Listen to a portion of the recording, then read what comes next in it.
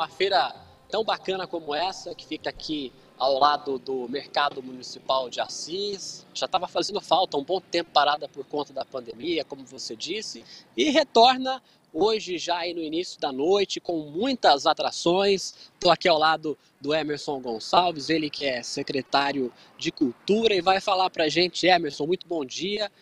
Chegou a data, né? Tão esperada aí pela população, pessoal que gosta de acompanhar e de vir aqui na Feira da Noite. É hoje, terça-feira. Com certeza, Matheus. Bom dia, bom dia, Jerônimo. Bom dia a todos que nos acompanham. Ah, depois de dois anos que o mundo parou praticamente, né, devido à pandemia, e, e essa feira que já acontecia com toda todo vigor, e agora estamos podendo, depois de dois anos, retornar com essa feira e entendemos, através da Prefeitura, a Secretaria de Desenvolvimento Econômico e Secretaria de Cultura, que esse espaço movimenta o comércio local, esse espaço dá oportunidades para quem trabalha e não tem condições de fazer uma feira durante o dia, Matheus. Pode estar se dirigindo aqui, que aqui é comercializado todo tipo de produto, é um espaço para você trazer sua família.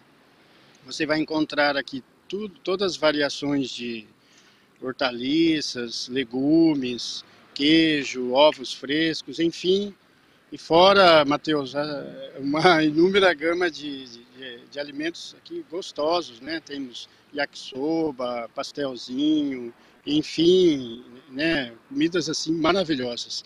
Então nós queremos convidar para hoje, né?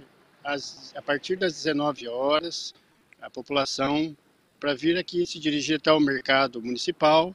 O espaço aqui, Matheus, sofreu uma, uma melhora nesse sentido de pintura, iluminação, a reforma aqui do banheiro, deixando o Mercadão já um dos espaços mais antigos de Assis e cada vez a gente tem esse cuidado de preservar esse local. E também, Matheus, para quem gosta de música ao vivo, apresentações culturais, a Secretaria de Cultura vai estar todas as terças-feiras trazendo aqui atrações musicais. Lembrando que também às sextas-feiras volta a Feira da Prumar também, onde estaremos lá também ajudando na organização, trazendo artistas da nossa cidade, da nossa região.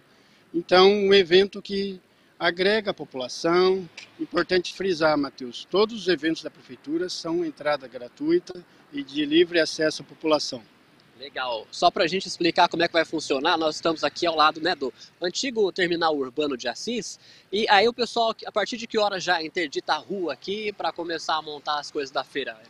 Matheus, já à tarde, após o almoço, é, a partir das 14 horas, já é interditado aqui o espaço, onde os feirantes já começam né, a se organizar e montado um som ambiente a partir das 17 horas e até a noite, onde os shows iniciam às 19 vão até às 22 horas.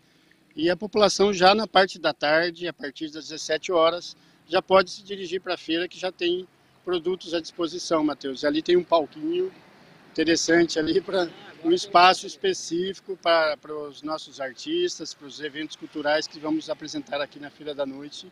E queremos convidar a todos para vir prestigiar. É um momento de calor né, humano nessa, nessa feira. E elas, essas feiras são tradicionais, desde a Grande São Paulo, Matheus, como tantos outros lugares, né, essas feiras acontecem e a gente fomenta com tudo isso a economia criativa aqui do município.